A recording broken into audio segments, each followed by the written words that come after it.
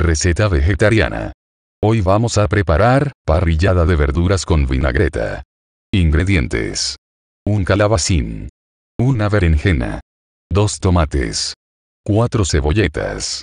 12 espárragos verdes. 12 setas. Una remolacha. 25 gramos de avellanas tostadas. 25 gramos de almendras tostadas. Agua. Aceite virgen extra. Vinagre. Perejil. Sal gorda.